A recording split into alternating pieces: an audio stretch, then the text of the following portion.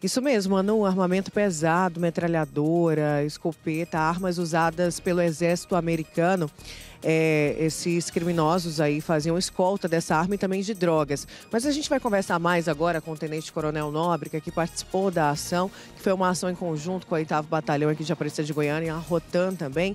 Né? Depois de um serviço de inteligência, Tenente Coronel, vocês chegaram até esse armamento pesado, essa droga também.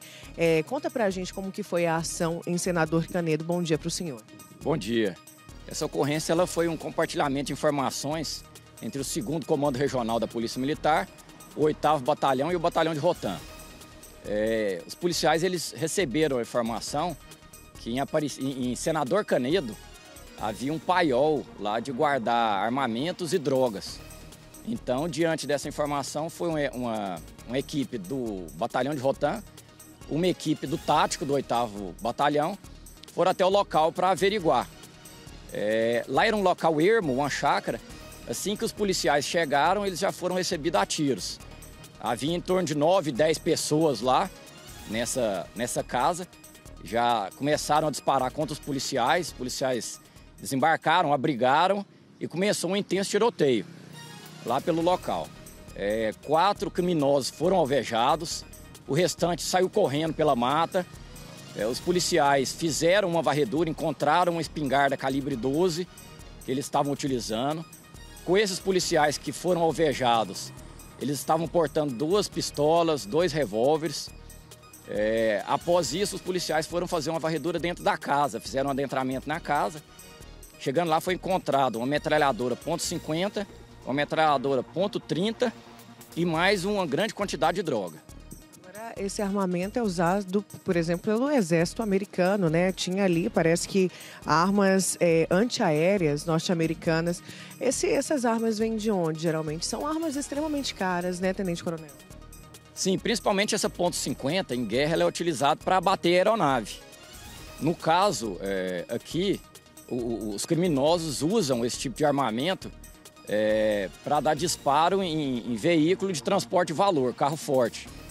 É, esse armamento pode vir tanto do Paraguai, tanto por container, tem, tem várias maneiras que ela, que ela pode chegar. Esse armamento foi apresentado, é, tanto o armamento quanto a droga, foi apresentado na delegacia da Polícia Civil, para a Polícia Civil agora é, fazer o, as, as investigações dela, tentar chegar nesses outros criminosos que fugiram e principalmente qual era o intuito desse pessoal com esse tipo de armamento aqui na região. Agora já se sabe é, a quem pertence esse armamento. É uma facção criminosa? Não? Uma, uma quadrilha, uma organização? Tem essa diferença? Já tem alguma linha de investigação nesse sentido, Tenente Coronel? É, com certeza, isso aí é um grupo criminoso grande, é uma facção criminosa. É, dos quatro alvejados que foram a óbito, é, um está identificado, ele possui várias passagens por roubo, homicídio. Os outros ainda não foram identificados. Então, a partir do momento da identificação deles, aí é, é consegue-se chegar o, na quadrilha ou, ou na, na, facção do qual eles pertencem. Mas devido o calibre desse armamento, é um armamento muito caro, muito difícil de ser adquirido, é, com certeza é de, de, de grupos criminosos, de facções. Agora, além desse armamento, munições também que foram encontradas, foram apreendidas drogas ali na no local, né? Que o senhor falou. Que droga que foi apreendida lá e a quantidade, Tenente Coronel? Foi apreendida uma grande quantidade de maconha e de cocaína. É, quantidade essa que não era para uso. Com certeza também eles faziam é, tráfico de drogas, devido à grande quantidade, principalmente de cocaína, que foi apreendida lá, vários tabletes de cocaína e de maconha que, que acontece com essa apreensão, esse, essa, esse armamento muito pesado, usado, como o senhor falou, por um exército, um exército de elite? O que, que acontece a partir de agora? Esse armamento ele fica apreendido, ele é destinado para as Forças Armadas Brasileiras? O armamento ele foi apresentado na delegacia lá de Senador Canedo. É, na delegacia eles vão dar o, o, o destino deles. É, esse tipo de armamento ele não, não é utilizado pela polícia.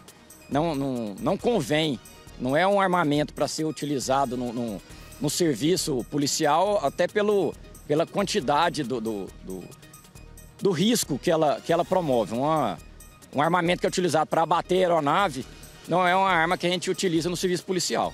E agora a polícia segue investigando os outros envolvidos né, dessa facção e até os que estavam na casa no momento que a polícia chegou e conseguiram fugir. Sim, a, a Polícia Civil vai fazer, junto com a Polícia Técnica Científica, vai fazer a identificação desses outros criminosos para tentar chegar nesse, nesse grupo maior, né? Obrigada, viu, pelas suas informações. Um ótimo dia para o senhor.